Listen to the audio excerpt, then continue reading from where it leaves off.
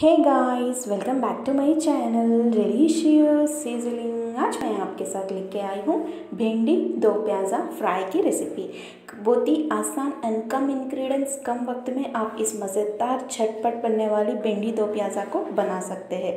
इसे बनाने के लिए आपको एक्स्ट्रा स्पाइसेस एंड पानी की ज़रूरत नहीं पड़ेगी। आसानी से इजी से मैं आपको इसे कैसे बनाते हैं स्टेप बाय स्टेप बताऊँगी। सो प्लीज़ वीडियो आखिर तक ज़रूर देखिएगा। आई होप मेरी आज की रेसिपी आप सभी को पसंद आएगी। अगर वीडियो पसंद आए तो please subscribe like and share bhindi do pyaza बनाने के लिए मैंने यहाँ पे भिंडी लिया है। ये 250 ग्राम्स भिंडी है। इसे मैंने अच्छे से वॉश करके और इसे टिश्यू पेपर की मदद से पोच के इसे अच्छे से कट कर लिया है। देखिए। पीसेस का साइज़ मैंने इतना रखा है। स्मॉल uh, पीसेस में मैंने इसे चॉप कर लिया है। नेक्स्ट वी नीड ऑनियंस ये भिंडी दो प्याज़ा है ना तो इसमें ऑनियंस ज़्यादा ही डलेंगे। तो देखिए ऑनियंस का साइज़ uh, मैंने बारीक सा कट करके रख लिया था। देखिए। तो चलिए अब हम कुकिंग प्रोसेस शुरू कर लेते हैं। सो कुकिंग प्रोसेस के लिए मैंने यहाँ पे एक कढ़ाई लिया है। कढ़ाई में ऑयल डाल रही हूँ।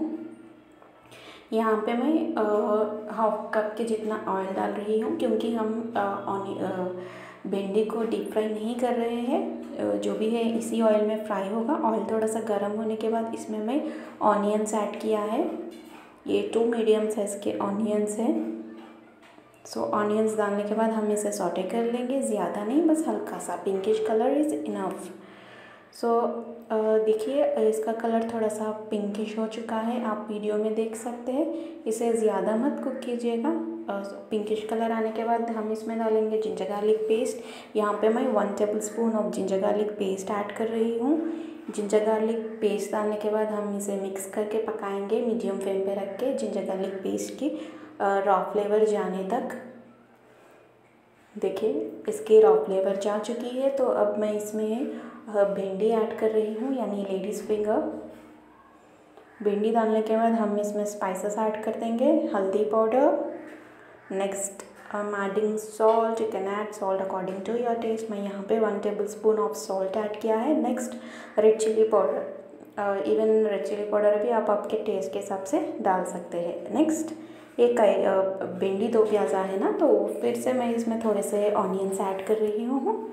बस थोड़े से वन मीडियम साइज़ जितनी ऑनियन मैंने चॉप करके इसमें ऐड कर दिया है। इसे ऐड करने के बाद हम इसे अच्छे से मिक्स करना होगा।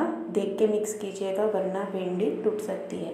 आपको इस कर्री में बनाते वक्त अच्छे से मिक्स करना चाहिए। अगर आप भिंडी को हिलाएँगे तो ये आसानी से टूट जाएँगी। सो ध्यान रख के मिक्स कीजिएगा। देखिए, मैंने इसे अच्छे से मिक्स कर लिया है मसाले इसके साथ भिंडी को। अब हम इसमें डालेंगे ग्रीन चिलीज़ वैसे ग्रीन चिलीज़ मैं यहाँ पे three two four green chillies use कर रही हूँ। आपकी मर्ज़ी, आप कितने भी डाल सकते हैं इसमें ग्रीन चिलीज़ देखिए ग्रीन चिलीज़ डालने के बाद हम इसे एक बार अच्छे से मिक्स करके पकाएँगे। मीडियम फ्लेम पे रख। के आपको हाई गैस का फ्लेम हाई भी नहीं करना चाहिए, वरना ये अंदर से जल सकता है। देखिए, आप वीडियो में देख सकते हैं बिल्कुल इसी तरह से आपको इसे हिला के पकाना चाहिए। वरना ये टूट सकती है भिंडी।